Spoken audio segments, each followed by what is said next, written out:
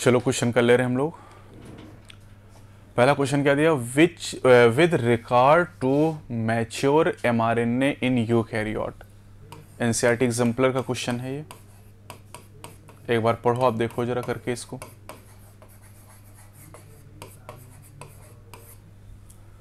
Mature M R N A mature M R N A की बात कर रहा है।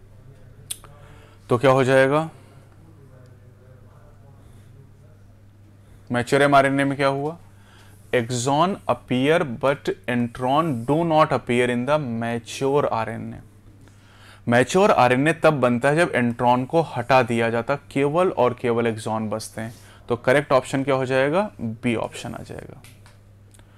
Which of the following step in transcription is catalyse by R N A polymerase करें R N A polymerase इनमें से किस step को कैटलाइज करता है? इनिशिएशन को करेगा इलोंगेशन को करेगा टर्मिनेशन को करेगा या ऑल को करेगा? क्या आरएनए पॉलीमरेज ट्रांसक्रिप्शन के तीनों स्टेप को कैटलाइज करता है? यस ऑल आंसर होगा डी ऑप्शन होगा। ये क्वेश्चन भी एनसीईआरटी एग्जाम्पलर का ही है।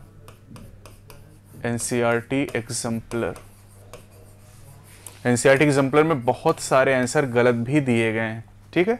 तो इसलिए ध्यान रखना है कि ऑल आंसर करना तीनों स्टेप को कैटलाइज करेगा। नीट में भी ये सवाल पूछा गया है, ठीक है? बस इनिशिएशन करने के लिए सिग्मा फैक्टर से बाइंड करेगा, है ना?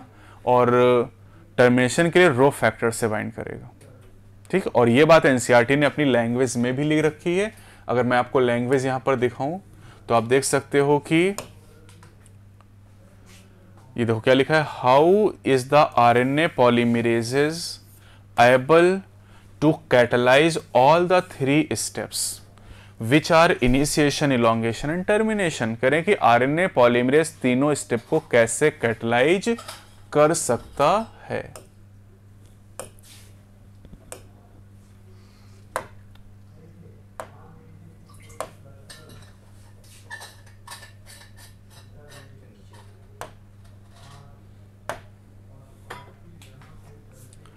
Which of the following are the functions of RNA RNA के काम के बारे में पूछा है।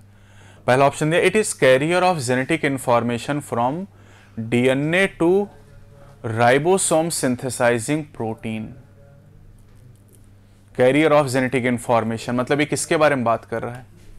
यहाँ किसके बारे में बात हो रही है? M R N A it carries amino acid to ribosome किसकी बात हो रही है बेटा? T R N A it is constituent component of ribosome R R N A तो क्या इसका मतलब और सही होगा? यस यहाँ पर आरएनए के तीनों काम है। अलग अलग तरह के आरएनए ये तीनों काम करते हैं। Spliceosome are not found in cells of ये देखो, नीट सत्रह का सवाल है।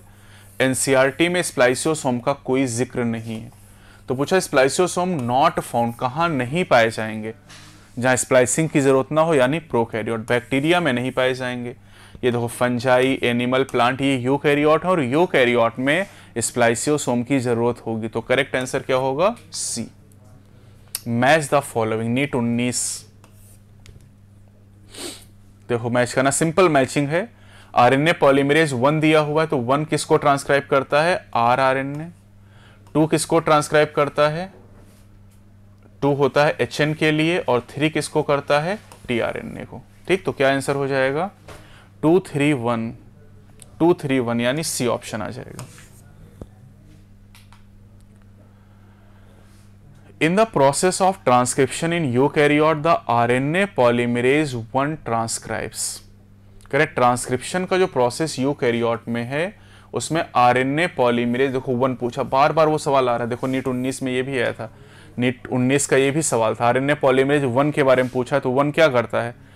वन करता है 28s 18s और 5.8s यानी सी ऑप्शन आ जाएगा। ये T R N A, five S and S N के लिए हो जाएगा। R N A polymerase three और precursor of M R N A के लिए हो जाएगा टू। समझ गए ना? Initiation and termination factor are involve in the transcription in eukaryote NEET उन्नीस में ये भी पूछा गया था। इनिशिएशन और टर्मिनेशन फैक्टर के बारे में पूछा है। इनिशिएशन और टर्मिनेशन फैक्टर पूछा है। क्या करोगे आंसर?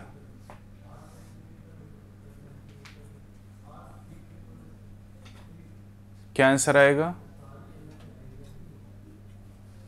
आंसर इसमें होगा नोटा। नोटा मतलब नन ऑफ़ द अबो कोई भी आंसर सही नहीं है इसमें। आप क्यों ए आंसर करें उसका रीजन मैं बताता हूँ। आप आंसर चूँकि अभी पढ़ाया गया था, यहाँ सिग्मा होता है, यहाँ रो फैक्टर होता है। लेकिन सिग्मा और रो फैक्टर कहाँ बताए गए? प्रो कैरियोट में सवाल किसके लिए? यू कैरियोट के लिए। यू कैरियोट में सिग्मा और रो फैक्टर नहीं होते तो क्वेश्चन ही गलत है। और इस क्वेश्चन में बोनस मिला था। ठीक है? क्या दिया था? एनटीए ने इस क्वेश्चन पे बोनस मार्क दिए थे। बोनस तो इसमें आंसर नहीं करना है, कोई भी ऑप्शन इसमें सही नहीं है। Next name the enzyme that facilitate opening of DNA helix during transcription NEET 2020 का सवाल है।